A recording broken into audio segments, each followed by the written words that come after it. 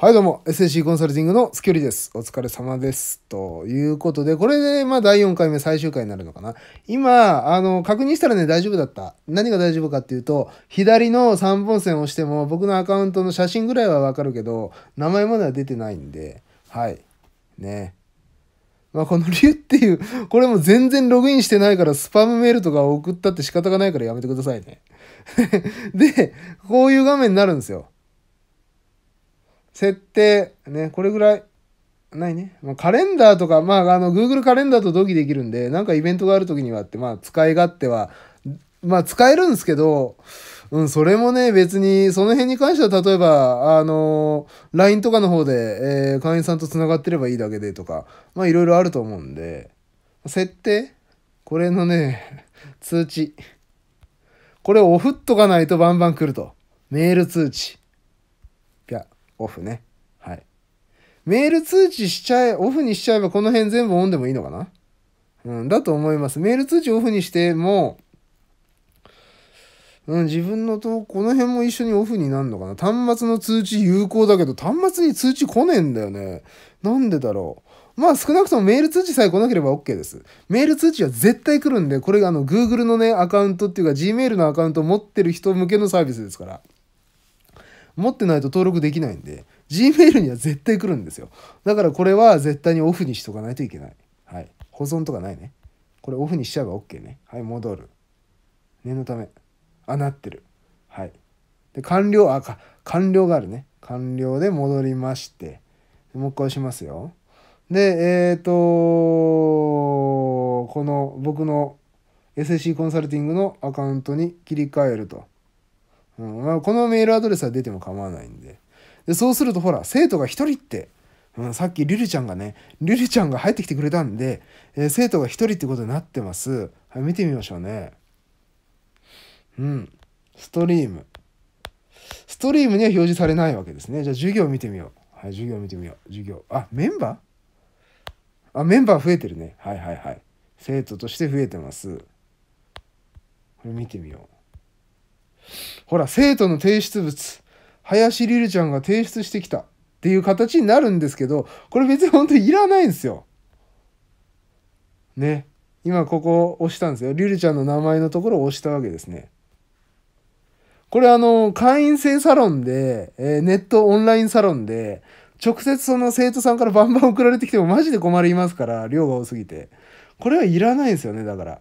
やっぱりあの、さっきのクラスのコメントってところでずっとやっといてもらうっていうのが一番、そのやり取りしといてもらうっていうのが一番ですね。はい。限定公開のコメントもちゃんと入ってるでしょ。これは多分他の人に見えないです。俺もだよ。例えば。例えばですけど、なんだこれ。こういう不死だらな使い方もできなくはないっていう形ですね。うん。で、提出済みになってるから、これタップすると、あ、返却。まあ、OK 確認したよってことで返却できるのかな？うん。あなたがつけた成績やコメントを確認することができます。なるほど、なるほど。コメント、質問にコメントを、こういうところにコメントを書いたりとかしてね。あ、そうそう、危ない危ない。これクラスのコメントだね。ここに好きだよとか書いちゃったらストリームに出るからね。好きだが。これはまずいだろうな、多分。間違ってこういうこと書いちゃったら、これは限定公開のコメントじゃないでしょ？そうすると コメント3ってなってて、みんなに見える形になる。多分。ちょっと待って、ストリーム見ようか。あ、ストリームに入ってない。ちょっと待ってくださいよ。ごめんなさいね。わけわかんないことし始めちゃって。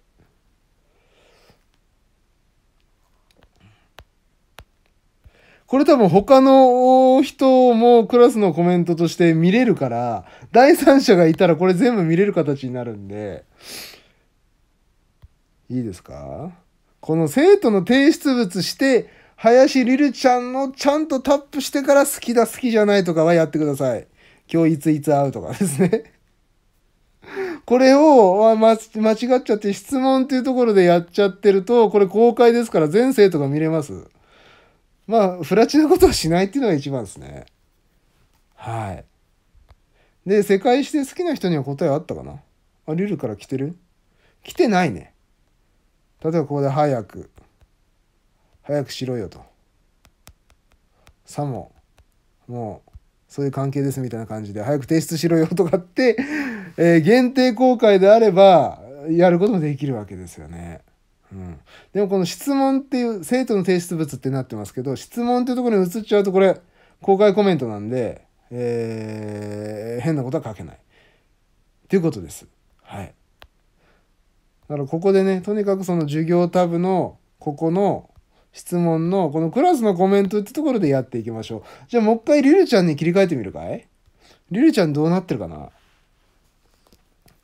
リルちゃんサイドでは、リルちゃんサイドではどういう形になってるかと。ちょっとこの下の青いの消えないと。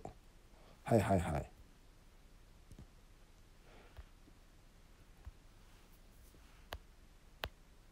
これはあれだね。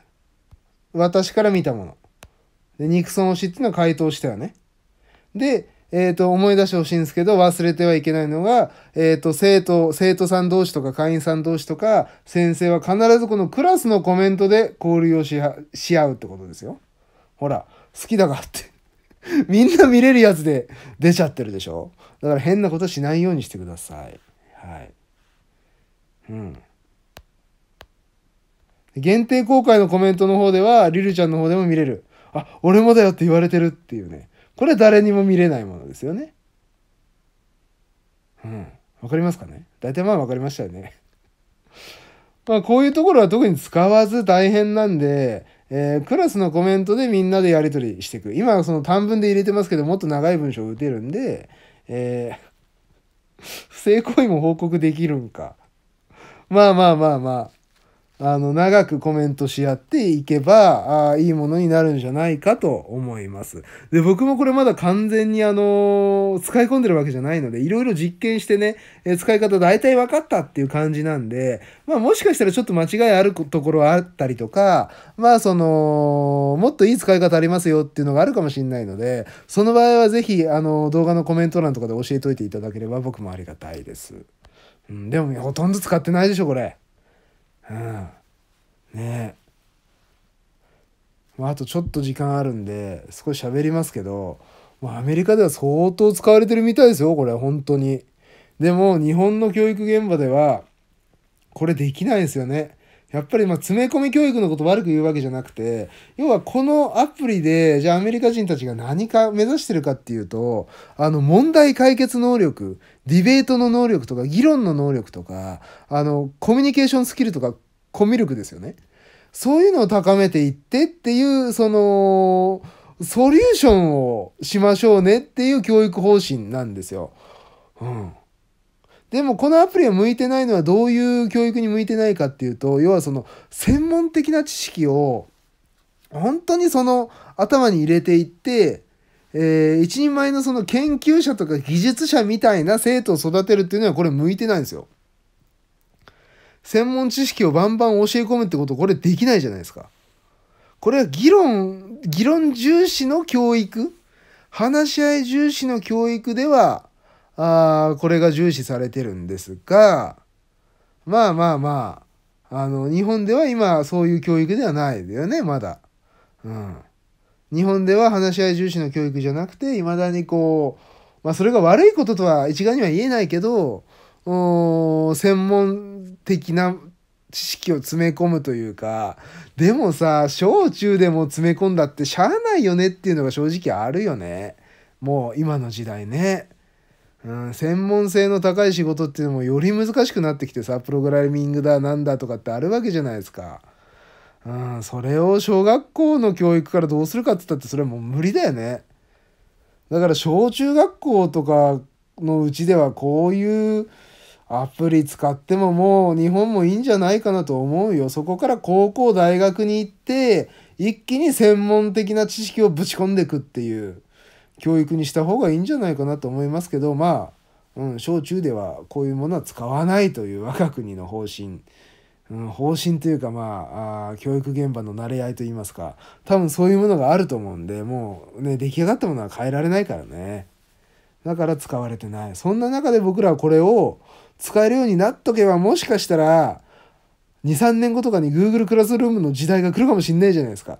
その時にやり方分かっとくと俺たちが熱いっていうことになるんでぜひ、えー、やっといてください。で、あとその僕がこれからあのリリースする、リリースする商品っていうかサービスがあるんですけど、まあ、結構高くなっちゃうかもねっていうのはまあお伝えしてる通りですが、それではこれを基本的に使います。